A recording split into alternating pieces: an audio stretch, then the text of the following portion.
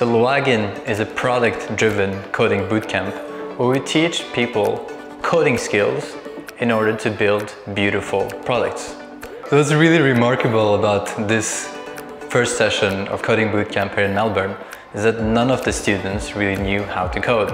So we have a microbiologist, we have a product marketing manager, a factory production manager, an event manager, a writer, a business school graduate, and a sound engineer.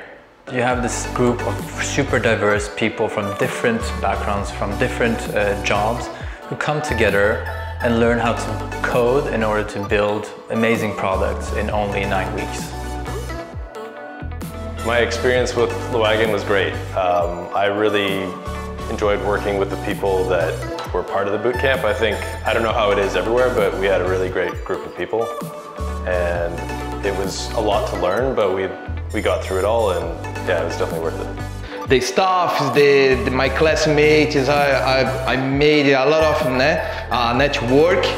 It's really good. The people that I met, it's, it's amazing. I, I really enjoy my time here and probably you miss né, a lot as well, the environment and everything. the wagon is like, uh, it's a coding bootcamp, but in the sense that, you know, you get to learn a lot of things and it's just, it's not, like you would think like coding is very intimidating, but it's like the way that they structure it, it's so like good and easy, intuitive to learn that, you know, I would say like, I recommend it to anyone who is like even thinking about you know, joining, like learning how to code it, yeah. So just before the wagon, I was um, working as a waitress. Uh, I finished um, a master degree in marketing and advertising about two years ago.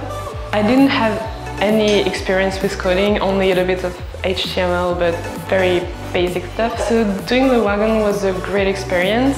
Um, it was hard at some times in the beginning, but in the end it's really nice to know that I actually learned something that can be really, really interesting and, and useful for the future. Uh, I would say my experience at the wagon is probably one of the best ones I've had because, you know, it's been, it's been great meeting everyone, like people, and just like people with like similar like interest in technology as well is like what really like drives me to come to the workplace every day. So I think that's that's been really great. Yeah. Uh, honestly, I tell anyone to join. I mean, as long as you have a bit of interest in it, like this is definitely a good chat. A good chat, sorry, and there's no need for you to needing to be a coder. Like it really is useful in any type of job, I guess, in my opinion at least. Yeah.